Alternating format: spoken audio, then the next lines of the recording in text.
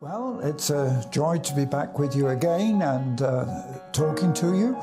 Um, I hope that you're enjoying this series, and in actual fact, it's it's really best if you follow the whole series because um, dealing as I am uh, with specific books in the Bible, um, if for any reason you are watching for the first time, please do trace back, and you can at the end of the program. I'll try and give you the way in which you can actually view the earlier messages because it's important.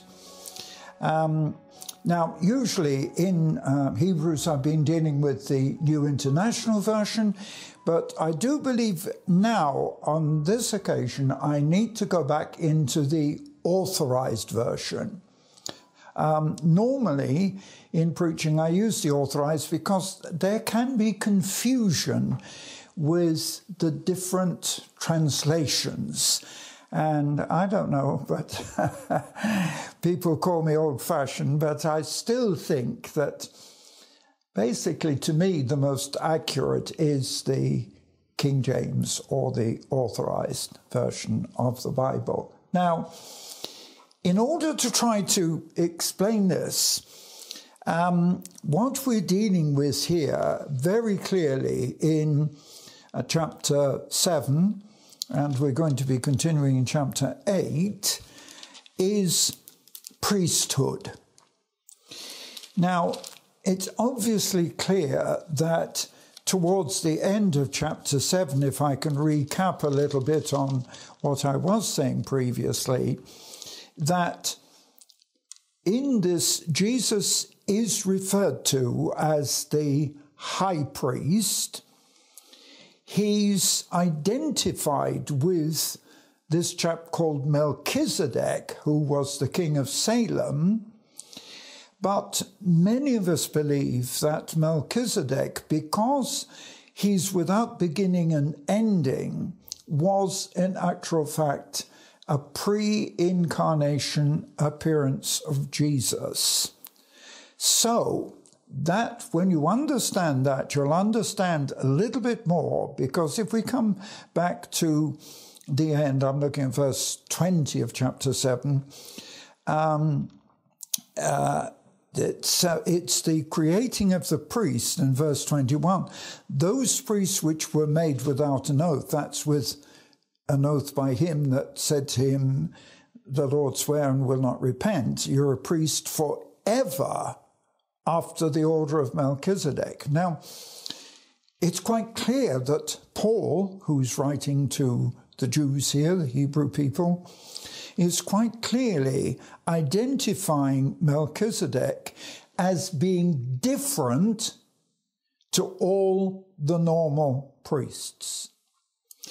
And yet, Melchizedek represented the Old Testament dispensation. Now, let's get this right, and I think it's important that we begin here.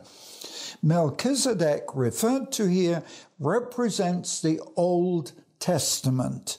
But in verse 22, uh, Jesus was made a surety of a better testament.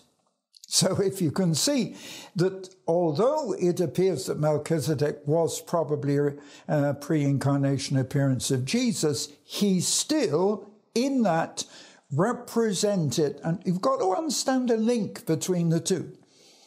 He was representing the old order. But then the Lord swore that um, Jesus would become a priest forever after the order of Melchizedek. And so Jesus now replaces the old order. Have you got it? It is really, and that's where we begin to come into chapter 8. You see, um, if you look at the end of chapter 7, the high priest had to make sacrifices. And those sacrifices were for sin. And because of the Old Testament order, they had to be made daily or weekly or in order to atone for sin. But those sacrifices were not permanent. They had to be constantly repeated. Now, the new high priest has come, and as you will see, his sacrifice is final. We don't need any more.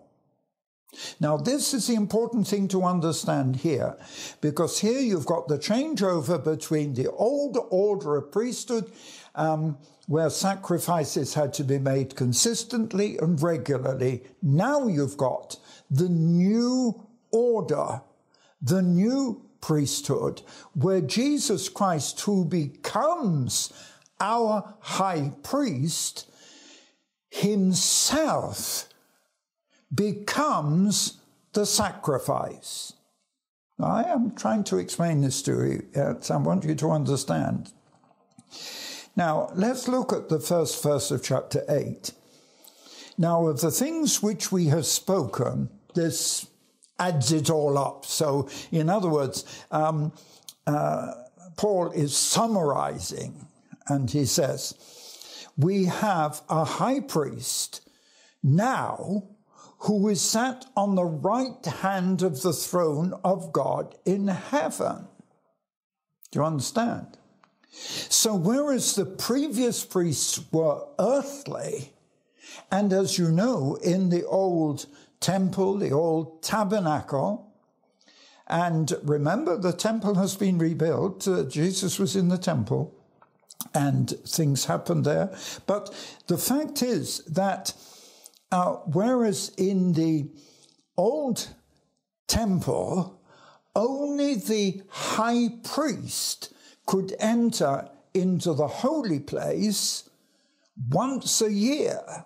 And in fact, it's quite fascinating to realize that he wore a specific robe with bells on the bottom. And the reason was that um, it was anticipated nobody could enter into the presence of God and live.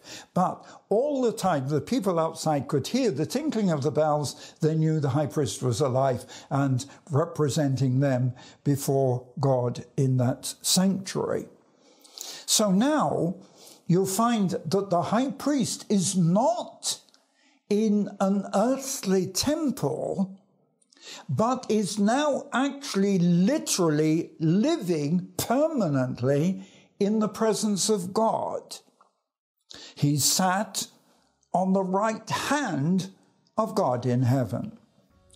And here in verse 2, as a minister of the sanctuary and of the true tabernacle, not created by man, but created by God, because in verse 3, every high priest ordained by earthly position is ordained to offer gifts and make sacrifices.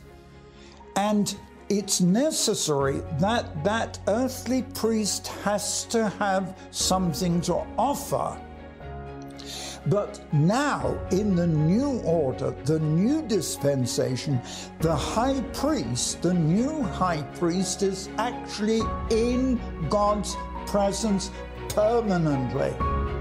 He sat at the right hand of the Father.